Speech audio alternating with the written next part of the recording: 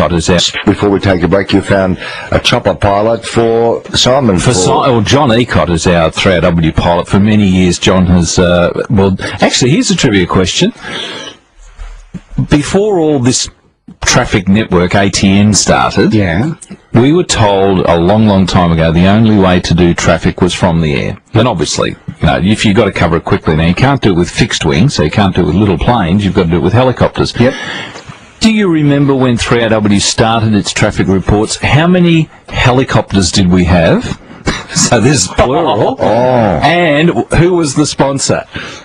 Give me a year, that'll help. Oh, gee. Uh, Mid 80s? Oh, back back in the money days, yes. I was on the Gold Coast, I don't have an answer. Um, no, look, I've, Oh, I've we- we, We launched a big campaign. We had two helicopters. One was a six-seater, and the other was oh. a, a little Robinson with hmm. just a couple of seats. Yeah. And there was a company called City Ford.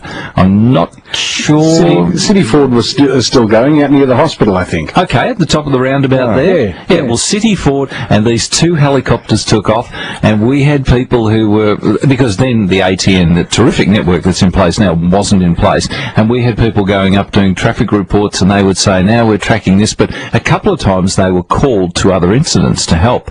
There was a boat out in the bay, and they said, "You know, 3AW helicopter divert," and off it went. But John Ecott put that together, and he he was a police pilot. Uh, a, a pilot for the police. Yep. Um, he was in the Navy uh, as a pilot and then did a whole lot of rescue work. And uh, so we sort of say he's our 3AW pilot. We don't have a helicopter, but we have a pilot. What happened to those two helicopters then that we had? Just I think they were sold. I think the traffic reports came back to a phone box in Russell Street.